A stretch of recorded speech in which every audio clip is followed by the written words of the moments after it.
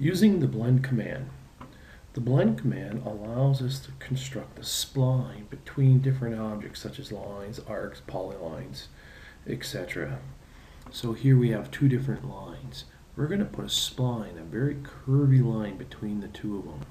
We'll do that by going up underneath the fillet and the chamfer command is blend curves or the blend command.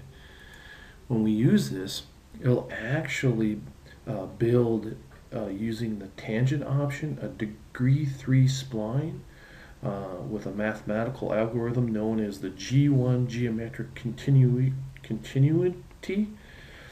Um, and so all we have to do is pick on the end of one line and pick on the other and it builds a nice spline through there.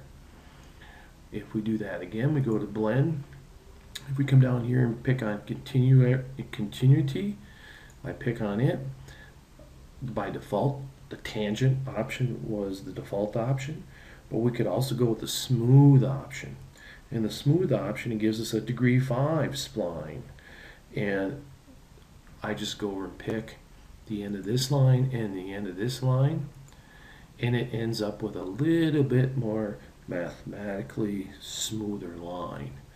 So it doesn't matter uh, in reality. Uh, if you go here to tangent or smooth, both of them are, are very smooth. It's just smooth is a more mathematical smooth. And it so we can put between any two types of lines. I could have a line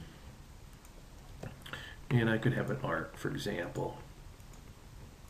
And so when I go to put a blend between the two, you'll put the smoothest line again in between the two objects. All right. And that's using the blend command.